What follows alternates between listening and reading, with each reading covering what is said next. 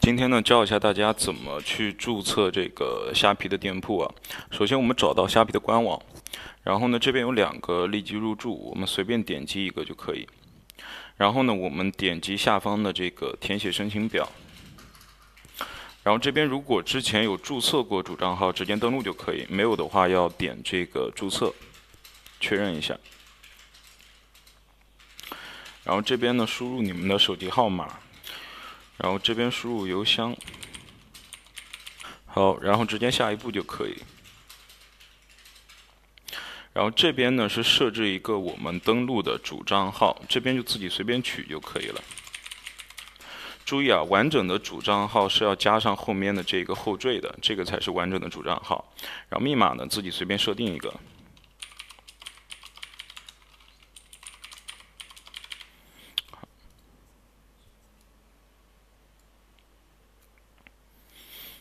然后这边验证一下，好，然后这边呢，我们直接点这个立即登录就可以。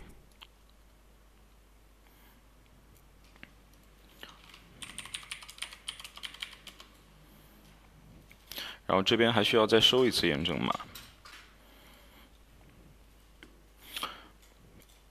好，到这一步之后呢，我们点击立即申请入驻。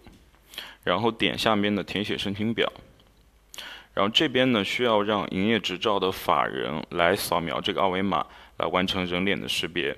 啊，我们先直接跳过。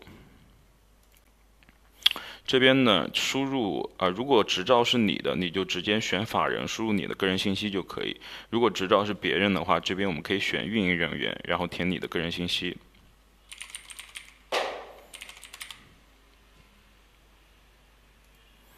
邮箱可以填刚才那个邮箱啊，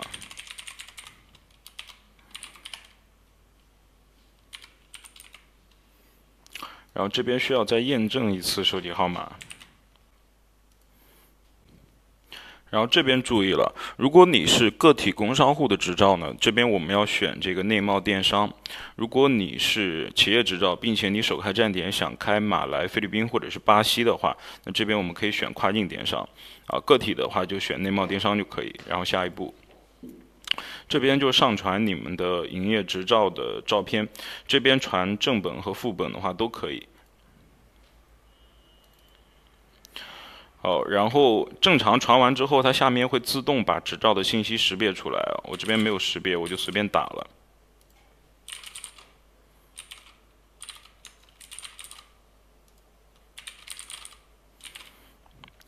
然后这边主营店铺链接呢，就是填写你提供的近三个月流水的那个店铺的链接，就随便填了。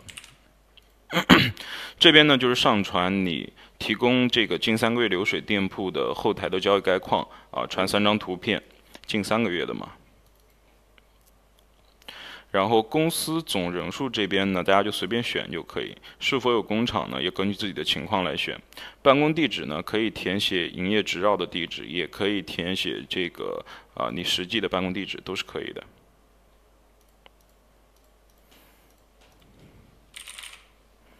好，填好之后就可以下一步。然后这边的主要品类、次要品类和平均商品单价等信息是根据你提供的近三个月流水来填的，并不是说你注册的这个店要做什么，跟你接下来开的店要做什么是没有任何关系的。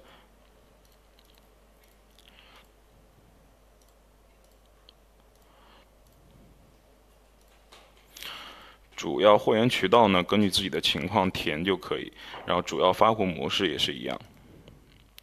退货地址呢？这边要填我们自己能收到包裹的地址。是否为品牌呢？这边选否。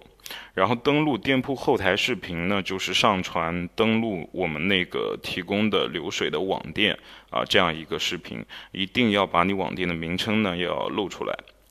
然后其他视频验证呢，就是上传法人手持身份证和。手持这个北京时间的一个视频。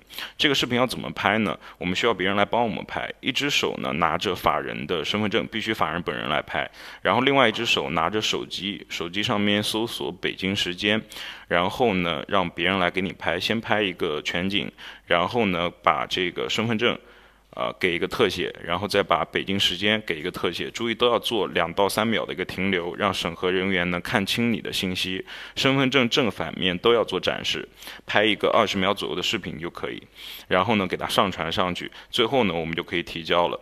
建议大家在填完信息之后，我们可以返回上一步，反复的确认我们的信息，确认信息没有问题之后呢，再选择提交。